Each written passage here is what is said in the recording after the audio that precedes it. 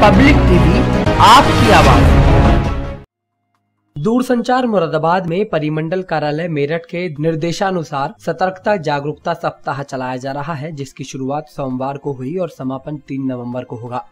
इसी संदर्भ में सोमवार को 11 बजे महाप्रबंधक कार्यालय मुरादाबाद के सभागार कक्ष में सभी अधिकारी और कर्मचारी एकत्रित हुए और उन्होंने महाप्रबंधक के निर्देशन में ईमानदारी, पारदर्शिता और सत्यनिष्ठा बनाए रखने की शपथ ग्रहण की। शपथ ग्रहण का कार्य महाप्रबंधक संजय प्रसाद के द्वारा कराया गया। इस दौरान बैनरों के द्वारा जागरूकता के लिए प्रदर्शन भी किया गया। शपथ ग्रहण समारोह में उप महाप्रबंधक अनेक अधिकारी और कर्मचारी गण उपस्थित रहे।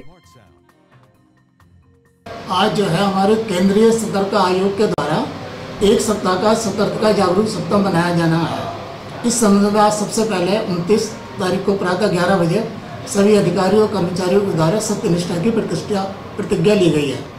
इसके साथ साथ ये सभी लोग जितने भी अधिकारी कर्मचारी हैं ये ऑनलाइन जाकर भी प्रतिज्ञा ले सकते हैं। इस शपथ ग्रहण करने का क्या मकसद है? मकसद ये है कि सभी लोगों में जो है भ्रष्टाचार को मिटाने के लिए जागरूकता है। हमारा इसका जो उद्देश्य भी जो है इस सप्ताह का जो हमारी थीम है वो भी यही है भ्रष्टाचार मिटाओ और नया भारत बनाओ।